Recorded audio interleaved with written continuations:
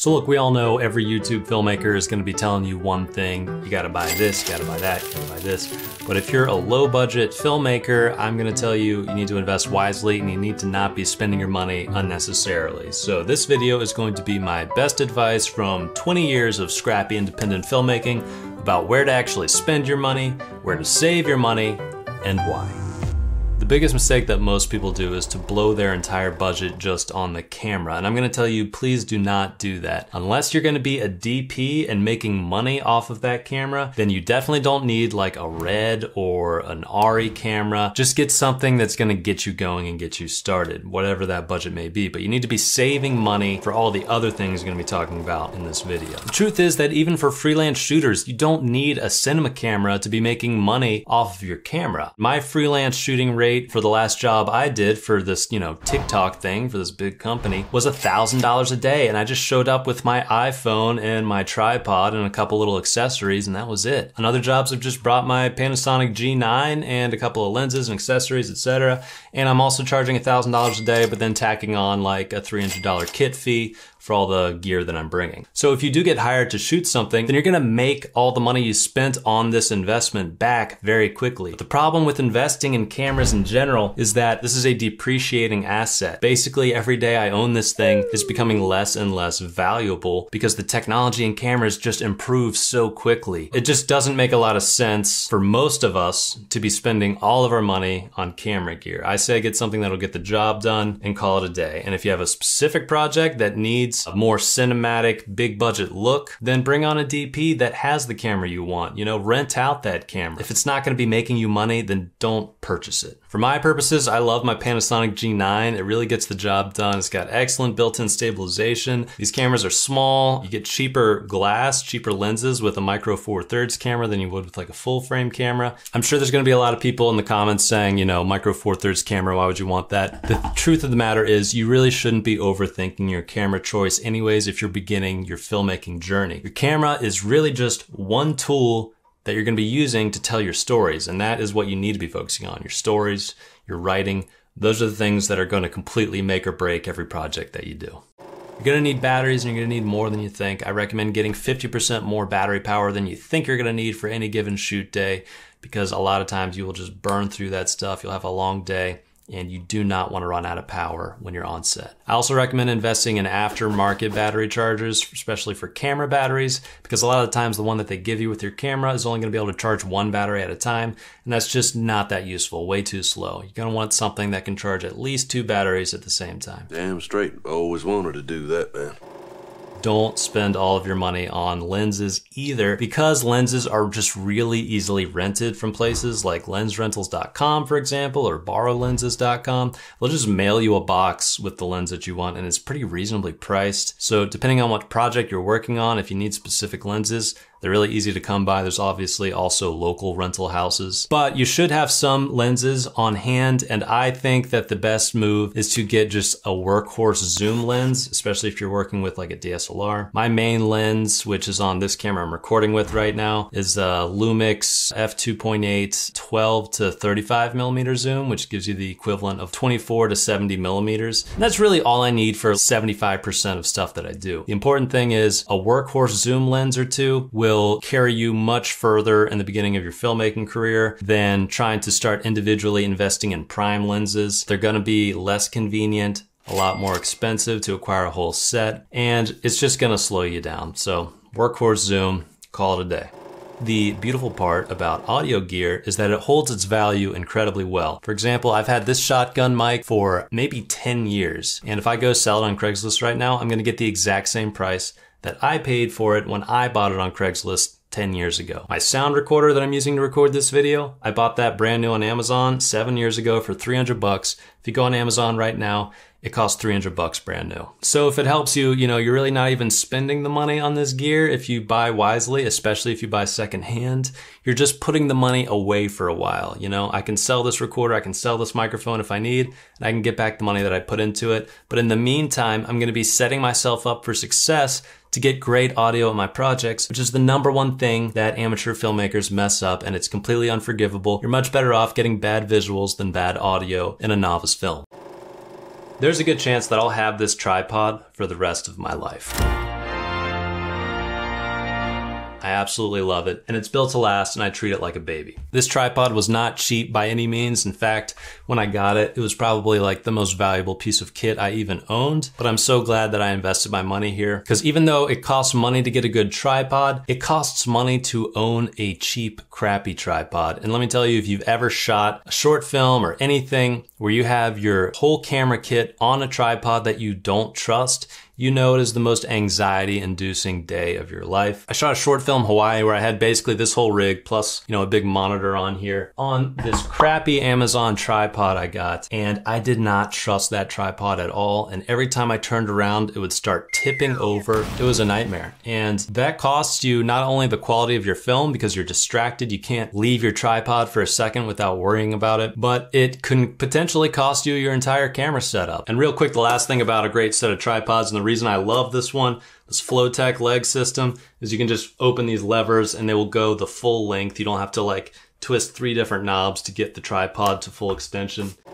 Now, if you saw my video from a couple weeks ago about how to get cinematic lighting on a budget, I kind of walked through all of the lighting and grip gear I own, which is all very low budget, kind of crappy stuff. What I started with back in the day was Home Depot construction lights, and I just kind of graduated from there to these no brand name fluorescent soft boxes. I actually shot a feature film with those, and I hadn't gone much further since then, but LED technology in lighting has come a long way. You can get one of those Aputure MC type lights. I have an off brand one that I showed in my cinematic lighting video. The RC120B light is a pretty powerful and versatile LED COB light. And if you get one more powerful light like this, then you can really have a lot more options for lighting setups with some small accessory lights. But ideally, you're gonna have three lights or two lights and a reflector, and that will give you some options to create some good lighting setups. It's very easy to just upgrade your kit over time, so don't feel like you need to get everything all at once. Start really small, start really cheap, and as your needs grow, you know, slowly add more lighting to your kit. And the cool thing about lighting accessories, you know, grip gear, is that that stuff's very cheap. So if you're getting lighting stands or something, you know, flags, reflectors, all that stuff. Not too expensive, but will hold its value. You know, the exception might be C stands. They're kind of expensive, but they're, you know, the fundamental building block of most lighting setups. And the great thing about a C stand is you're gonna be able to sell that for the same value. They will hold their value incredibly well. If you're gonna be editing your own stuff, you're gonna need a computer to work off of. And if you've seen my old videos, you know that I've been a professional freelance editor for, I don't know, five, six years now. But here's the thing, you don't need the most powerful computer to even make a living as an editor. You can actually work on a pretty weak system if your workflow is correct. Proxy workflows are your friend. You know, that's where you're taking whatever you're shooting on and transcoding it overnight or whenever. That's going to allow you to make your edits much more smoothly than if you were working off the raw camera files. So if you're trying to be a professional editor, for example, and maybe you want to use Apple computers because most client work is done with Apple products, those M1 MacBook Airs, they don't have a lot of ports, but those Mac Thunderbolt ports are incredibly versatile. So you can just get a hub connected to that. You're going to have all kinds of connectivity. If you're not making money based on how fast your computer is running exports and processing and all that, then just don't blow all of your money on like a $7,000 M1 Max MacBook Pro. You know, you got to be thinking about what is that extra power, that extra quality going to earn me financially versus what it's going to cost. And better yet, if you're not in an Apple ecosystem already, then just go for a Windows machine. You're going to get a lot more power for your buck. Better yet, just build your PC yourself. That's what I used to do. It's really the most cost effective way to get an editing machine set up and you get to learn what all of the parts do along the way. You can also continuously upgrade parts on a PC that you build, so you'll never have to start over with an entirely new computer as it starts going obsolete. All right, let's talk about hard drives for a second. You're gonna need them if you're a filmmaker. And not only are you gonna need one, you're going to need another one for backups and redundancies. All hard drives fail, so any storage you need for your projects, you have to double that cost immediately if you wanna have any measure of safety, which you should. One thing to keep in mind though is that cost differences between hard drives are sometimes very small for massive storage size differences. So just pulling numbers out of the air, say that you saw a 12 terabyte hard drive for 200 bucks and you're thinking, that's all the storage I really need. But There might be a 16 terabyte version of that drive for 220 bucks. So for an extra $20, you're getting an extra four terabytes. So if you can plan ahead and get a bigger drive, then go for it. You also have SSDs, which are very handy, a great tool to have, not completely necessary, but you're going to get so much more speed on an SSD. So if you want to have an SSD for maybe your operating system and for any active projects that you're working on, you'll be able to work much more smoothly and quickly on that SSD. And then you can move it over to your traditional hard drive once you're done with that project. Obviously, the big one for most of us is going to be Adobe Creative Cloud, and it is expensive, but you don't need Adobe Creative Cloud. There's other options out there. If you're not doing client work or expecting to make a living as an editor, for example, just use DaVinci Resolve. It's free. Uh, it replaces Premiere and After Effects. It's got world-class coloring software built right into it, and you won't have to pay a dollar. And if you're going with DaVinci, there's plenty of free photo editing programs like GIMP to replace Photoshop, so you don't really need to worry about that. On the other hand, if you'll be making money off your work, then investing in Adobe Creative Cloud is a good idea since it's just much more widely used and professional settings. And if you're trying to save money on that expensive Adobe cloud subscription, I don't blame you. It is really pricey. What some people do is since they give you two computers to access your Creative Cloud subscription with, two people will split a single account. So, you know, maybe you and a buddy both need Premiere and Photoshop and After Effects, etc. So maybe you can split that subscription cost for an annual plan and make it work that way. And hey, you could also get Avid Media Composer if you're going to be editing on TV shows or films. But if you're like most of us and you're going to be kind of taking what you can get as an editor and you don't want to specialize in editing maybe, then go with Adobe. Another subscription you should really consider investing in is a stock music subscription. If you're doing multiple videos a month or a year, purchasing individual stock music tracks for those projects is really going to add up and it's not going to be cost effective versus doing, say, an annual subscription plan. Me personally, I use artlist.io. It's what I've been using for years. I've probably used it in about two thirds of the client editing work that I've done. The great thing about Artlist is they just really have an amazing selection of music. It's very professional, you know, every genre, every mood you can think of, but they don't sound like stock music tracks, you know, they sound like real songs. And that's kind of hard to find out there in all these stock music subscriptions. So yes, it's $200 a year, that's gonna get you unlimited tracks for unlimited projects. You're gonna be able to use it in everything from monetized YouTube videos to theatrical releases of films to broadcast commercials for your clients. So if you're interested in Artlist, check out the link in my description because you'll get two months for free with it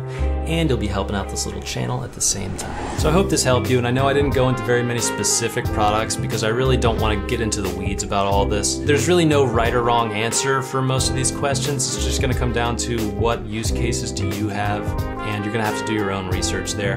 But I just don't want you to go spend $8,000 on a red camera and have nothing for sound, nothing for lighting, nothing for editing. You need to divvy up that money more responsibly. And I hope this video showed you where you can get the biggest return on those investments both now and in the future. Check out the Patreon for more weekly videos, making a lot of cool stuff there. Subscribe if you haven't, and I'll see y'all next week.